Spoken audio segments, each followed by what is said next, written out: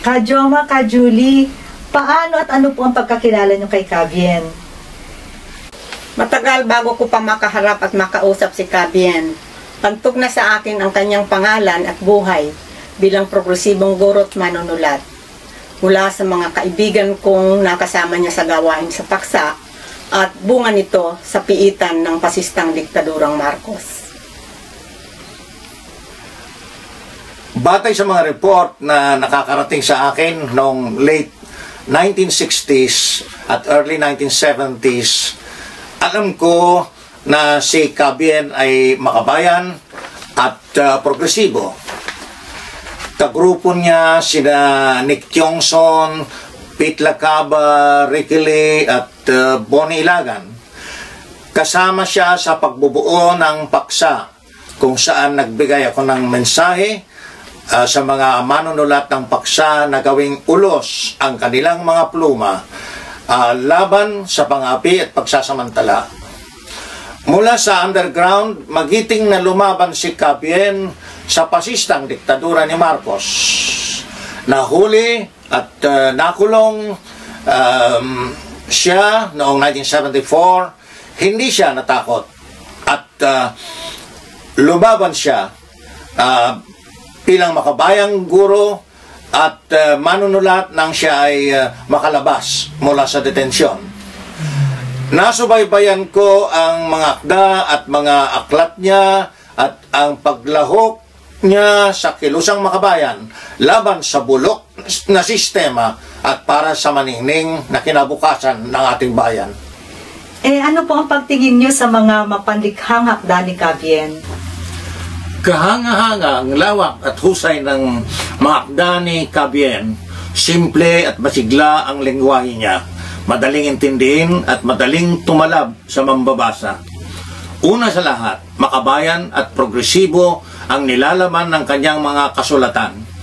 Dapat banggitin ko ang kanyang mga libreto, Tales of the Manubo, uh, Rama Hari, Nasa Puso ang Amerika, Bayani, No Limit Tangere, The Musical, at uh, Hibik at Himagsik ni na Victoria Lactao. Dapat banggitin ko rin ang mga sanaysay niya hinggil sa buhay Pilipino at kultura. Hinggil sa mga literatura mula sa iba't ibang rehiyon ng ating bayan at uh, hinggil sa pelikula. Banggitin ko pa ang mga tula niyang hinggil sa mga umapoy na isyo Bukod sa pagiging masipag na manunulat, masugid siyang tagapagtaguyod ng progresibo at mapagpalayang kultura ng sambayanan. Sa pinakauna naming pag-uusap, ipinakita niya sa akin ang reprint ng sanaysay ni Joma na serye sa Philippine Collegian, Social Consciousness in Philippine Literature. Aniya, ginagamit itong reference material sa kanyang itinuturong uh, graduate course sa literaturang Pilipino isa si Cabien sa mga nagtulak na ilathala ang tinipong mga tula ni Joma, ang Prison and Beyond. At kanya, ang Beyond Biography, isa sa apat na pambungad sa aklat.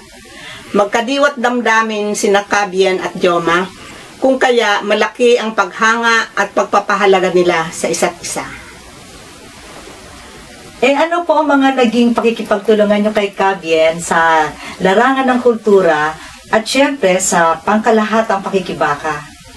Noong kalalabas ko sa piitan noong 1982, isa siya sa mga nilipwitan kong tumulong sa pag-oorganisa ng Free Jose Maria Season Committee para isulong ang kampanya sa pagpapalaya ng mga bilanggong pampolitika bilang dagdag na pwersang kontradiktadura.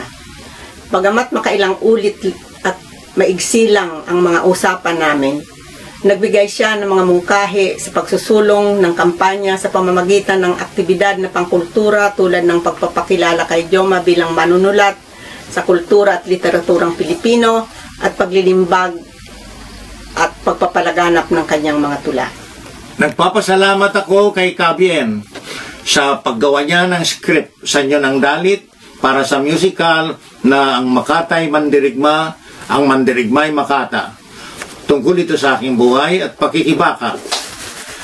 Malaking karangalan para sa akin na sinulat niya ang dalit. Maraming humanga sa sinulat niya at sa pagkakagawa ng musical.